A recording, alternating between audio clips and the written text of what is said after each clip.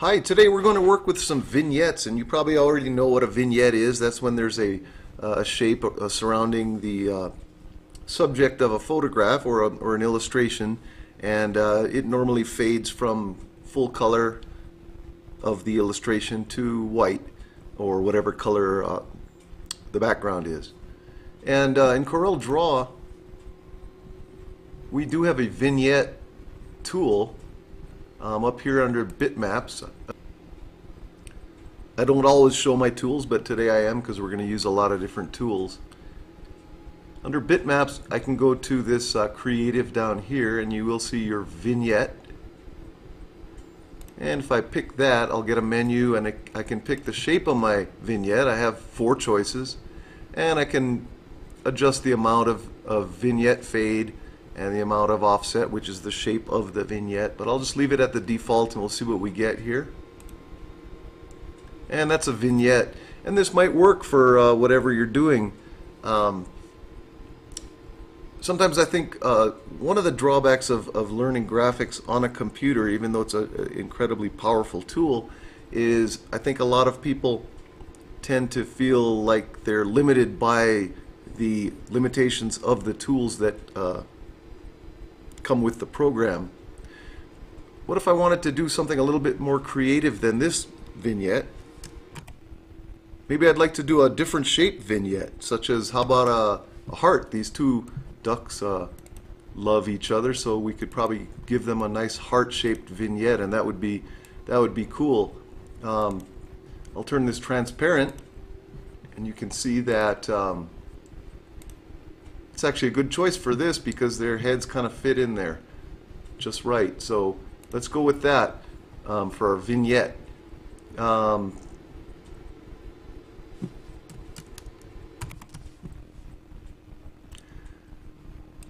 here's what I'm going to do. I'm going to take my heart and I'm going to draw an, a uh, square, just a square about that big, and I'll make it a different color so I can see what I'm doing and I'll send it down one, uh, one uh, position. And then if I select my heart and hold down shift and select my square, I'll come up here to combine and that gets rid of the red and now I have a nice little window that I can see my ducks through. My next step is I'm going to change this square to a 50% black so it's half, half white, half black. It's a gray. And then I'll change this, or I'll convert this to a grayscale bitmap. It's just for a video, so I'm going to use 135 dpi. You'd normally go a little higher if it's for printing. If it's for the internet, uh, low resolution should be fine. And I want it to have a transparent background, of course, it already has one. Um, now that this is a bitmap, it's not a vector anymore, I can go up to bitmaps and I don't have to uh, leave Corel Draw to work with uh, bitmap in this way. Blur, right here, Gaussian blur. That'll bring up my Gaussian blur menu and I can uh, adjust the radius or the amount of blur. It's going to blur this gray. I'll show you what it looks like. And as you can see, let me move this out of here, it gives a, a nice vignette style look. I can increase the, the amount of blur, I can decrease it. Um, for now I'm going to leave it just like it is, so OK. And now if I go to bitmaps again, here's a feature I use a lot, mode, black and white. This will change it to a one bit bitmap. I want to select line art here. Move that over there, the threshold, just to make sure it catches. And I'll preview it, and that looks good. And that changes it to a one bit, which means it's two different colors. The pixel is either going to be white or black, or whatever color I want it to be.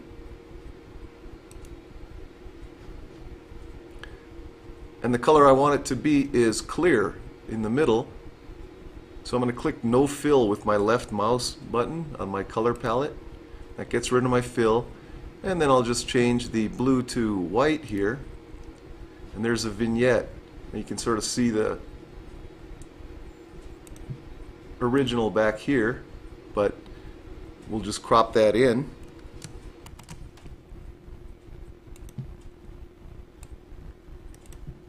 Just like that with my shape tool. And if this is going to be for printing, you can just leave it the way it is. This will print just fine. But what if I want to use it as part of another graphic? For instance, maybe I'd like to make a cute t-shirt out of this.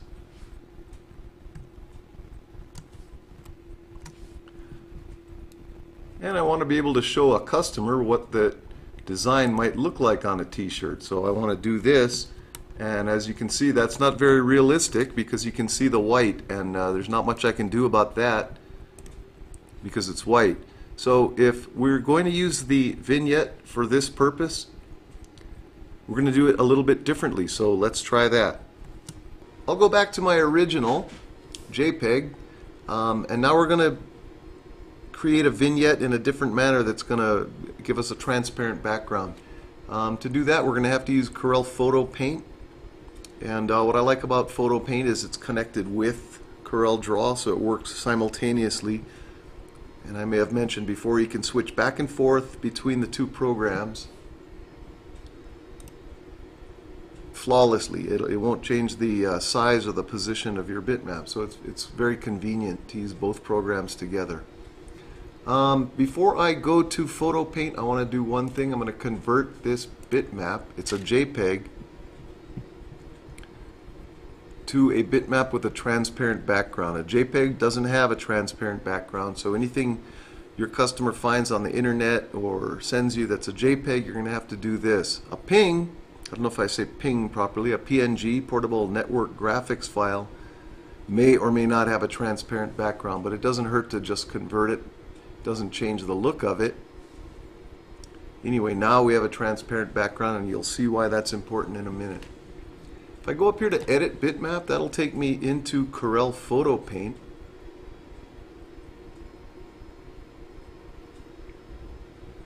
And here we are. I'll get this in view here. Zoom out a little bit. And uh, now, as I said, I can go back to draw whenever I want. This is draw. I'll paste my heart down again. And uh, I'm going to turn the heart green, and you'll see why I'm doing that in a moment. Then I'm just going to copy it to my clipboard. Go back to Photo Paint. I'm going to paste it, and that's going to put it on its own separate layer, and it's going to convert it from a vector object to a raster. We'll keep it at the same resolution and we will click this box here maintain original size and that should paste it exactly where it belongs at the right size. So now we have two layers. One of them's the heart and one of them is the ducks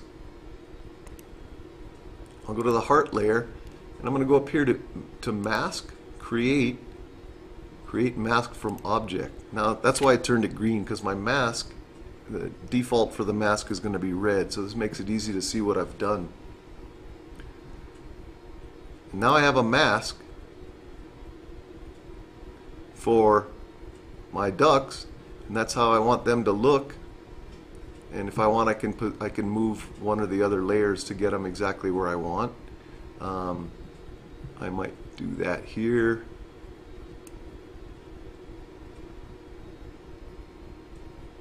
Yeah, about there. And now my mask is masking the wrong part of my of my image.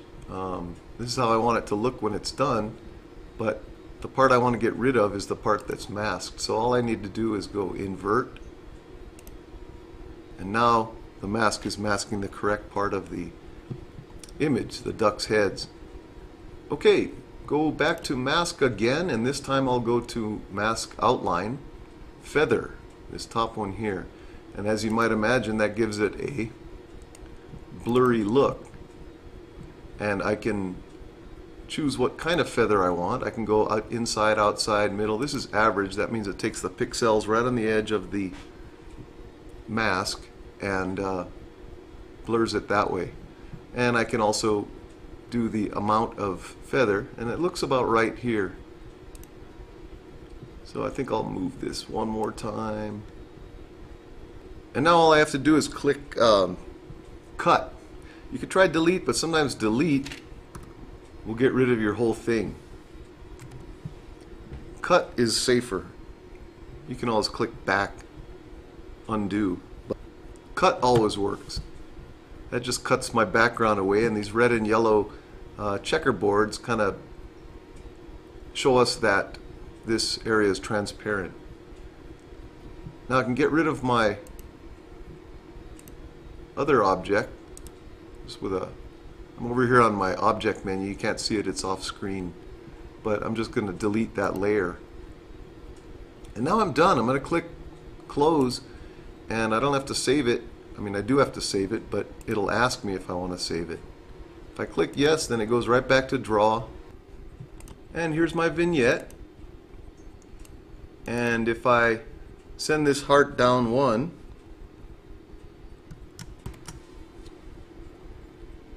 you can see that it has a transparent background. And once again, we'll need to crop it in here.